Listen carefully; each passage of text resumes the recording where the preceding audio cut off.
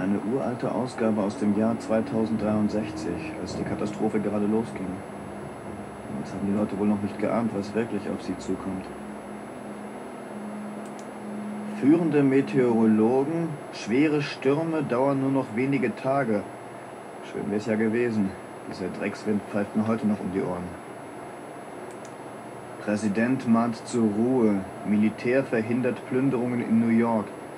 Einige Wochen konnten sie damals ja wohl für Ruhe sorgen, bis sie dann selber angefangen haben zu plündern.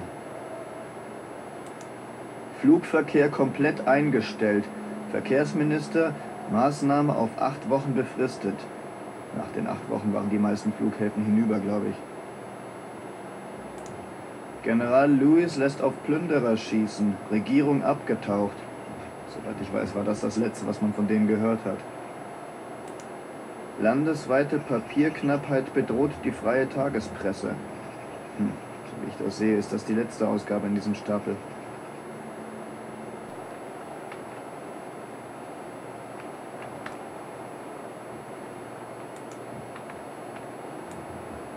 Vancouver Sun, 11. Februar 2061, Toronto. Die Interessengemeinschaft Söhne der Lebenden hat im vergangenen Jahr einen Zuwachs von etwa 234.000 Mitgliedern verbuchen können. Das ist ein Plus von 83 Prozent im Vergleich zur Mitgliederanzahl des Vorjahres. Der protestantische Kirchenrat sieht diese Entwicklung als besorgniserregend an. Man befürchte religiös-fanatische Ziele mit rassistischem Einschlag in der Gruppierung. Die Söhne der Lebenden sehen sich selbst als letzte Vertreter der Menschen, die auf natürlichem Wege gezeugt wurden. Sie betrachten Klone als Abfallprodukte unserer Zivilisation.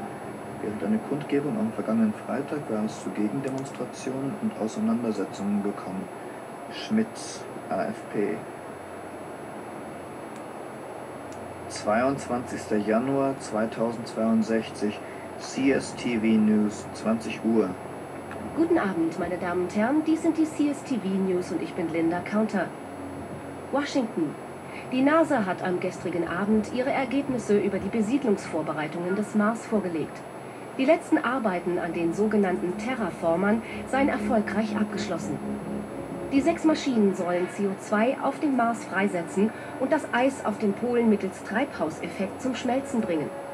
So sei schon in wenigen Jahrzehnten menschliches Leben auf dem Mars möglich. Die Terraformer werden unter äußersten Sicherheitsvorkehrungen in eigens dafür konstruierten Hallen auf dem Gebiet der NASA bleiben, bis sie am 13. Oktober diesen Jahres mit speziellen Schwerlastraumtransportern auf den Mars gebracht werden.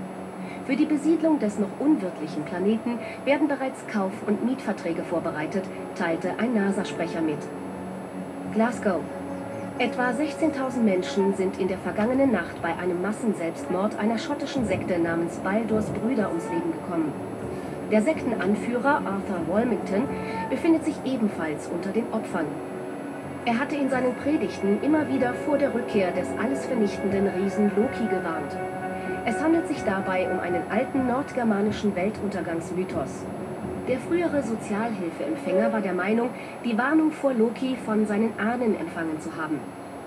In diesem Jahr waren bereits die Anhänger von zwei weiteren Sekten in den Tod gegangen.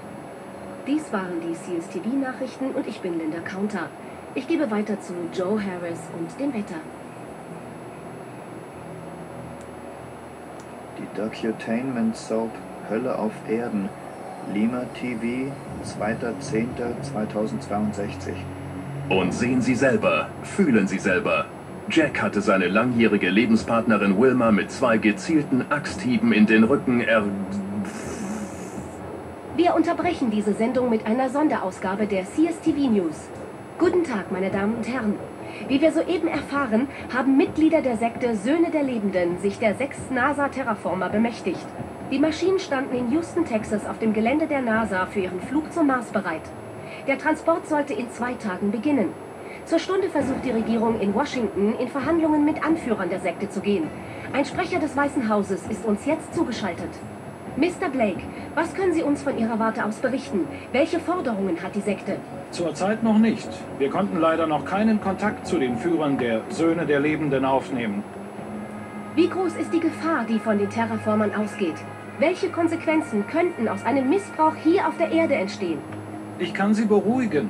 Nach allem, was wir wissen, würde der CO2-Ausstoß durch die Terraformer keinerlei Konsequenzen nach sich ziehen. Im Übrigen ist es auch mehr als unwahrscheinlich, dass die Sekte ausreichende Kenntnisse hat, um die Maschinen zu bedienen. Hier muss ich aber doch noch mal nachfragen. Seit Jahrzehnten wird davon gesprochen, dass der reguläre CO2-Ausstoß auf der Erde eine ernsthafte Gefahr für das globale Klima darstellt. Wie ist es möglich, dass das zusätzliche CO2 aus den Terraformern keine negativen Auswirkungen hätte? Ich kann mich hier nur wiederholen. Die Regierungsabteilung für Wissenschaft und Forschung hat unmissverständlich klargemacht, dass der Effekt keinerlei Auswirkungen haben würde. Ich selbst bin leider kein Wissenschaftler. Details müssten Sie dann bitte an geeigneter Stelle erfragen. Das werden wir tun. Vielen Dank, Mr. Blake. Danke. Videogeständnis von Rich Mickels am 14.12.2062. Bevor das alles anfing, war ich Autor. Genauer gesagt, ich habe Drehbücher geschrieben. Drehbücher für TV-Unterhaltung, Doku-Live-Shows und all sowas. Fertig mit dir war mein Drehbuch. Und dann kam Hölle auf Erden. Das kennt ja jeder. Großartige Quoten hatten wir damals. Das war eine ziemlich gute Zeit für mich. Ich war auf allen Events, Partys und so weiter. Einer der gefragtesten Leute des Fernsehens. Für zwei Monate. Irgendwann kam diese Frau auf mich zu und erzählte mir von den Söhnen der Lebenden. Sue hieß sie. Und sie war eine tolle Frau. Alles an ihr war echt. Das konnte man sehen und spüren, selbst ihre Seele. Genau wie bei mir. Sie kam auf mich zu und sagte zu mir, du bist wie wir, du gehörst zu uns. Da fing alles an. Ich habe dann die Initiation der Söhne der Lebenden gemacht und wurde ein anderer Mensch. Plötzlich war ich Teil einer großen Familie. Das war wunderbar. Dann hörte ich auf zu schreiben und habe angefangen, am großen Buch der Welt mitzuwirken. Wir wussten lange vor der Bekanntgabe der NASA, was los war.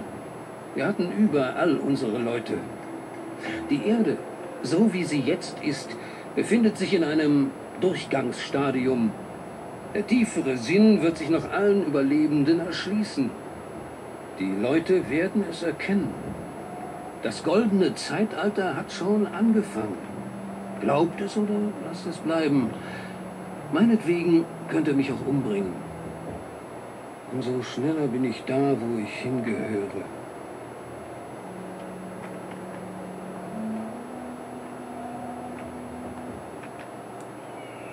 Patricia Wilson, 32, etwa zehn Jahre nach der Katastrophe. Ich erinnere mich noch, wie das damals war. Naja, woran man sich als Kind eben so erinnert. Ich war allein zu Hause gewesen und hatte mir heimlich die Wiederholung von Fertig mit dir auf der TV-Wand in unserem Wohnmodul angesehen. Unser Modul war ziemlich edel, glaube ich. Die beweglichen Wände zwischen den einzelnen Zimmern waren wirklich schick. Jedenfalls, es war zwei oder drei Tage nach dem Knall.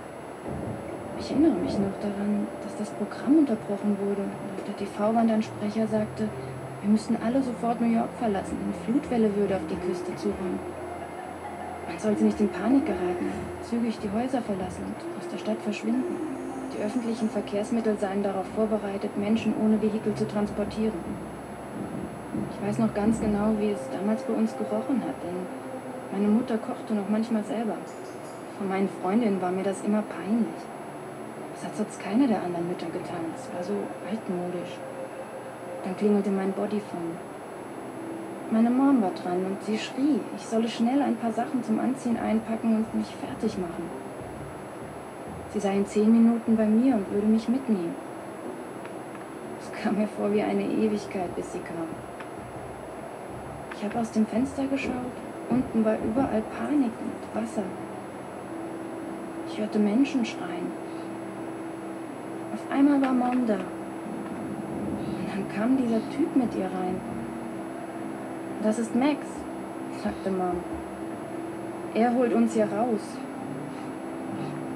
So lernte ich ihren neuen Freund kennen, den sie die ganze Zeit versucht hatte, vor mir zu verheimlichen. Sie rannten mit mir aufs Dach und da stand ein Helikopter.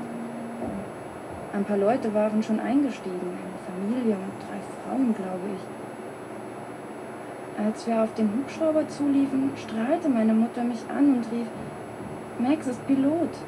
Ist das nicht toll? Als wir endlich losflogen, trudelte der Heli zuerst ziemlich schlimm, beruhigte sich dann aber.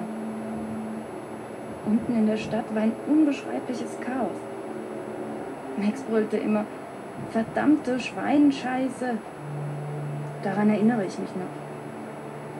Er landete das Ding in Pittsburgh oder da irgendwo in der Gegend und ließ die anderen aussteigen. Wir flogen zu dritt weiter nach Colorado. Zwei Jahre später starb meine Mutter an irgendeiner Krankheit. Ich weiß nicht mehr, welche es war.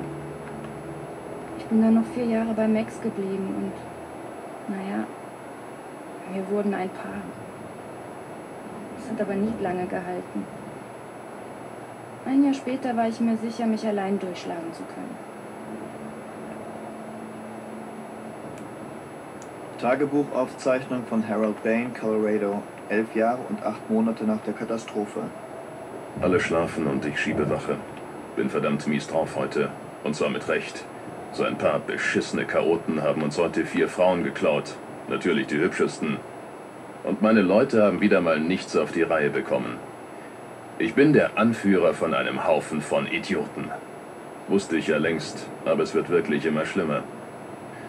Seit Frank tot ist, muss ich hier alleine klarkommen. Frank war ein echter Lichtblick. Der hatte es drauf, aus diesem Sauhaufen das Beste rauszuholen. Und wie haben sie es ihm gedankt? Nicht mal Deckung haben sie ihm gegeben. Wir müssten hier wirklich schleunigst abhauen, das ist mir längst klar. Die Gangs in dieser Gegend sind zu stark und zu dreist. Ständig finden wir frische Leichen.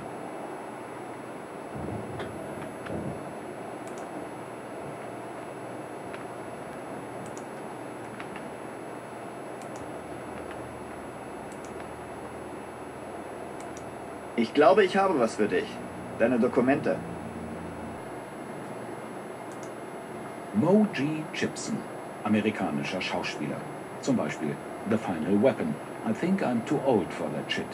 Vermachte seinen Körper einer Stiftung für kinderreiche Familien und wurde wenig später nach seinem dritten angeblich fanatischen Film von einigen wirklich extrem aufgebrachten Fans ans Kreuz geschlagen.